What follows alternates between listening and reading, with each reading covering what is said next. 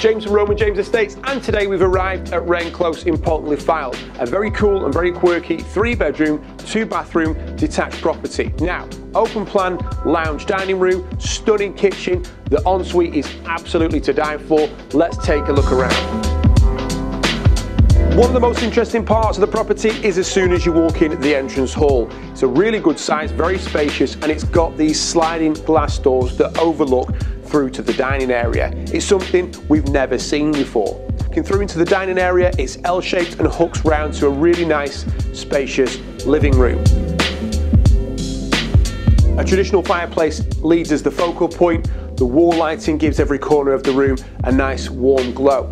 A doorway then takes you into a fully fitted breakfast kitchen with granite surfaces, AEG appliances, no expense spared here.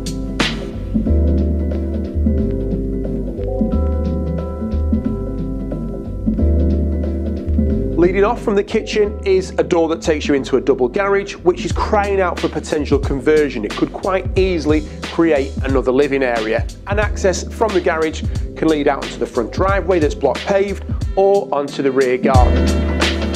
Externally to the front, side and rear are beautifully well looked after lawned gardens. In addition to all of this, on the ground floor is a double bedroom that could quite easily be utilised as a reception room also, depending on your preference.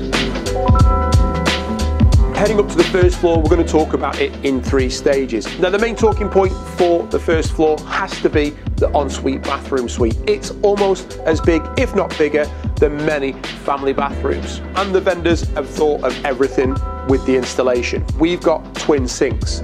We've a floating WC, a centralised elevated freestanding bath, beautiful fully equipped vanity unit and these gorgeous blue LED lights, making it the perfect place to relax after a hard day's work. In addition to this are two double rooms and a centralised family bathroom suite.